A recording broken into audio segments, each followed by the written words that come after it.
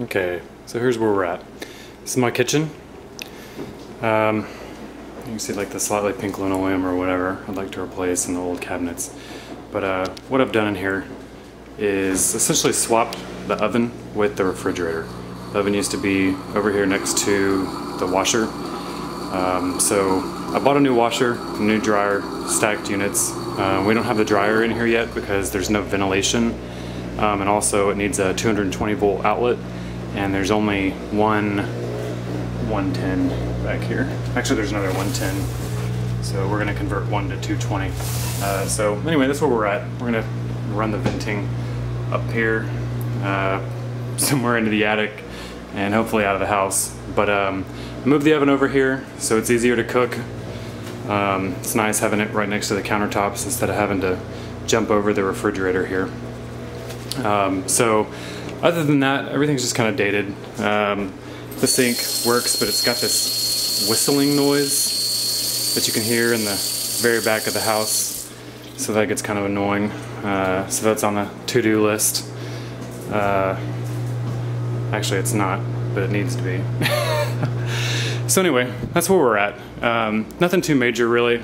Um, you know, really just the faucet and, you know, getting the stacked unit in here.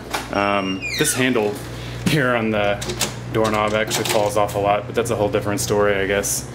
Um, but anyway, this is where I'm at. I'm just kind of filled holes and doing primer, and I'll probably finish this up tonight. I was doing like a high gloss on the trim here, and then just a flat on the walls. I've got a blue color picked out.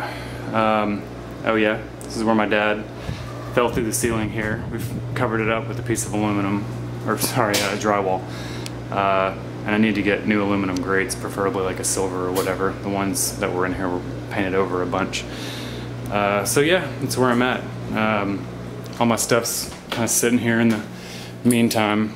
Um, I don't know, kind of a hassle, but it is what it is.